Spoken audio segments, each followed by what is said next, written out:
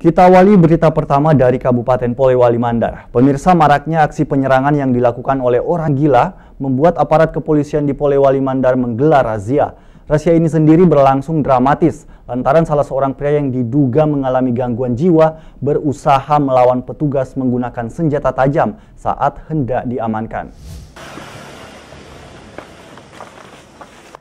Tak terima diamankan dalam razia, seorang pria yang diduga bermasalah dengan kesehatan jiwanya berusaha melawan petugas.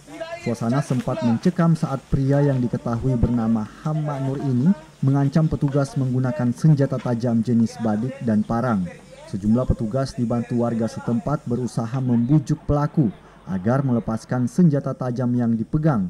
Namun bukannya melepaskan, pria ini malah mengambil sebilah parang dan nyaris menyerang petugas. Beruntung, sejumlah petugas bersenjata lengkap yang tiba di lokasi tak terpancing dan terus berusaha membujuk pelaku.